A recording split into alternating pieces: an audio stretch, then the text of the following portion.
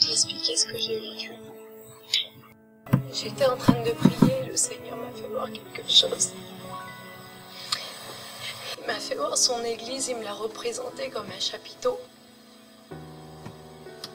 Il me faisait comprendre que on était tous faits de matières différentes, mais qu'on n'allait pas l'un sans l'autre. Et il me faisait voir le piquet. Il me disait, tu vois ce piquet, c'est mon serviteur. Il a été frappé pour prendre en profondeur avec moi. Il me faisait comprendre. Il me disait, regarde, il vit les intempéries. Je voyais la pluie qui tombait sur ce piquet. Je voyais les vents qui soufflaient. Je voyais la boue autour de lui. Et il disait, regarde la corde, c'est sa femme. Il dit, parce que c'est à elle que j'ai donné de s'occuper de son foyer. Et l'un va pas sans l'autre. Et il disait, tu vois sur cette corde, ces petits vis qu'il y a sur les cordes, c'est ses enfants. Parce que je ne suis pas un homme pour les oublier.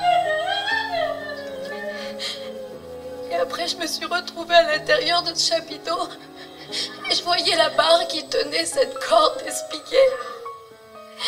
Et il disait ça, c'est ma parole. C'est moi qui les tiens debout.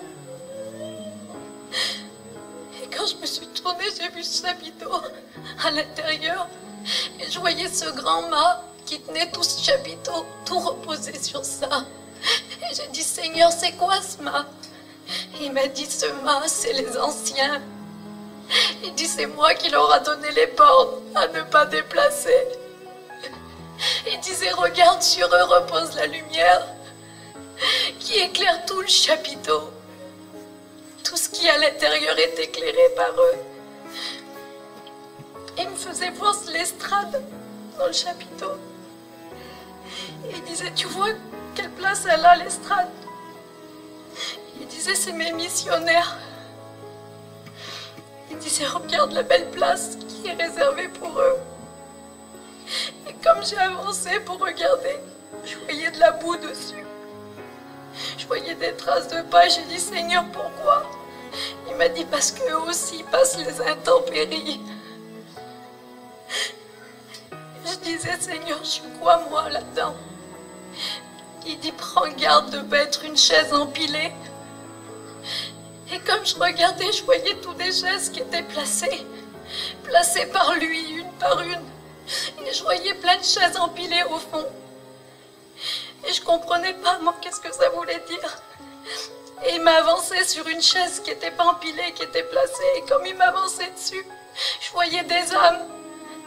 Je voyais des âmes qui passaient dessus, qui s'asseyaient dessus. Et il disait, prends garde de ne pas être une chaise empilée, parce qu'elles sont remprises pour mon avènement, mais elles ne peuvent pas être utilisées. Elles veulent pas être utilisées. Et je dis, Seigneur, il me faisait voir qu'il prenait des chaises qui étaient placées et qu'il les mettait dans la chaise empilée, qu'il prenait des plats et des chaises de la, du groupe empilées et qu'il les replaçait parce qu'elles étaient prêtes à servir, elles étaient prêtes à être utilisées. Il m'a fait voir une chaise devant. Était devant, elle était placée, elle n'avait pas bougé, elle, tout le long.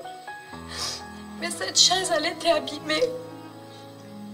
Elle était griffée. Son pied était cassé. Je dis, Seigneur, qu'est-ce qu'elle a eu Il il n'y a aucune de ces souffrances qui n'ont pas été connues à mes yeux. Mais il dit, regarde, et comme j'ai regardé cette chaise, il y avait plein d'âmes, elle avait servi, elle avait été utile jusqu'au bout. Je comprenais pas tout bien, donc je posais plein de questions, et il me disait, regarde. Et là, j'ai vu un grand trône, et dessus, il y avait un chef assis dessus le trône. J'ai vu des soldats aussi. J'ai vu deux soldats. Un soldat qui était tout équipé et qui brillait, il était tout droit, il marchait sûr, tout droit. Et j'en ai vu un deuxième était tout blessé.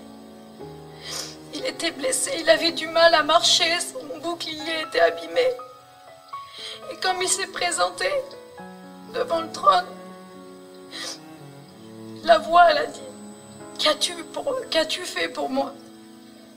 Et celui qui brillait, il dit, Seigneur, j'ai resté dans les rangs pour toi. Et l'autre qui était blessé, qui avait du mal à marcher, il dit, et toi, qu'as-tu fait pour moi? Il s'est mis à genoux. Il était blessé, il s'est mis à genoux. Il a dit, tu vois, Seigneur, ce coup que j'ai pris dans le bouclier, il était dur, mais je l'ai pris pour toi. Et il disait, tu vois ce coup, Seigneur, j'ai eu du mal à me relever. Je l'ai pris et j'ai resté debout pour toi, Seigneur. Et celui qui était sur le trône, il a dit, laquelle, lequel de ces guerriers ont plus de valeur pour moi? Je remercie Dieu pour ce qu'il m'a fait voir. C'est grand, c'est beau. Mais comme je veux arriver devant lui, je veux arriver avec un bouclier qui a pris des coups. Parce que je veux être fière de prendre des coups pour mon Seigneur. Je remercie Dieu pour ça. Je remercie Dieu pour ça. Je remercie Dieu pour ça.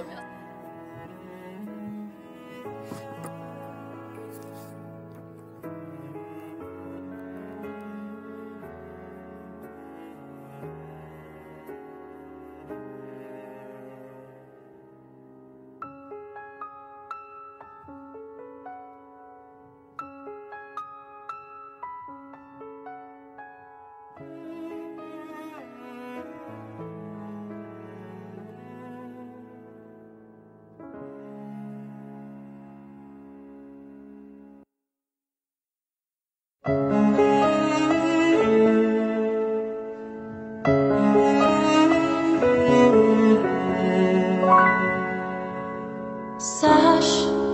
que pour vaincre tu dois souffrir toutes choses à son prix pour lequel tu dois combattre malgré toutes tes faiblesses.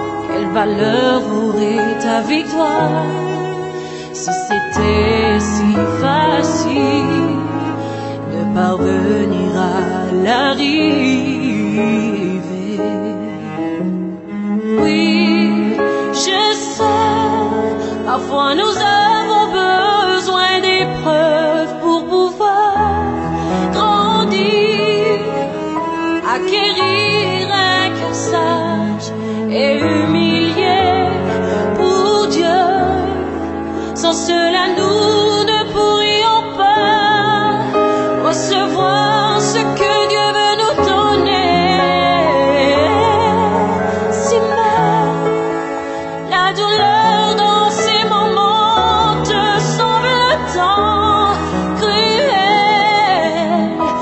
Notre Dieu ne nous laissera pas éprouver au-delà du temps que nous pourrions pas supporter.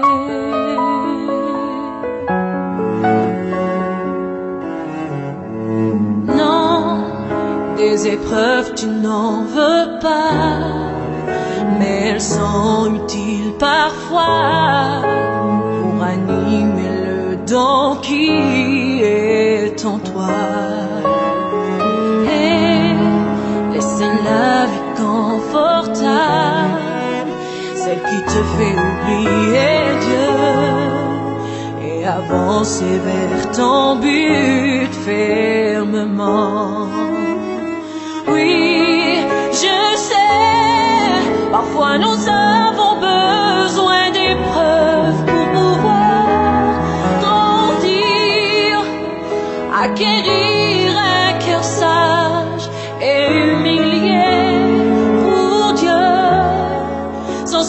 Nous ne pourrions pas recevoir ce que Dieu veut nous donner.